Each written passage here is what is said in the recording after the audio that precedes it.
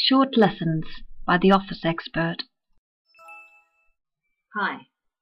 In this lesson we're going to learn about Microsoft's Format Painter. It's an icon which resembles a small paintbrush in the Home tab of most Microsoft products. For this exercise, I'm using Excel 2007 to demonstrate how we can achieve formatting in a few simple clicks. I prepared a spreadsheet earlier with the formatting that I'd like to copy over. Here's our larger-than-life historical data for housing sales. Here's my unformatted spreadsheet, and we're going to copy the formatting of this worksheet here onto the unformatted one. First of all, I need to highlight my area that I'd like to copy the formatting of. I could very well highlight the entire spreadsheet if I know that it's the same size and copy it over. But let's do this in small areas.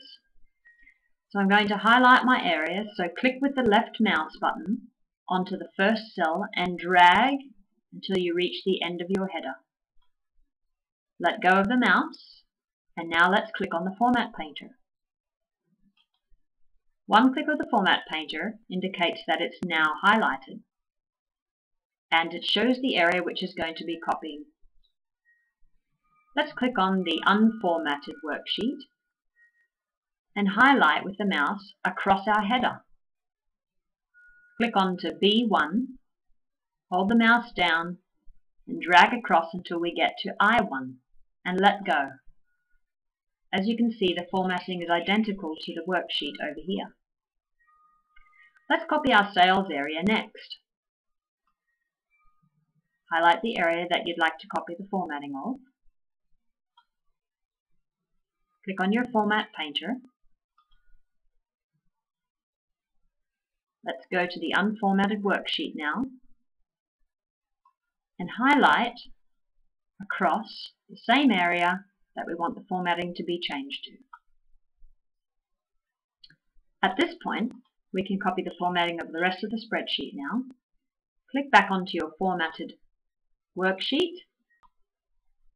Highlight the remaining of the worksheet.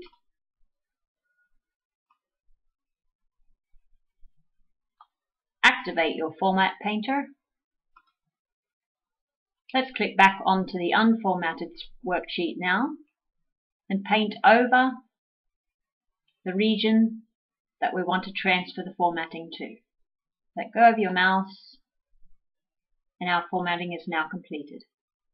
Hope you've enjoyed this lesson today.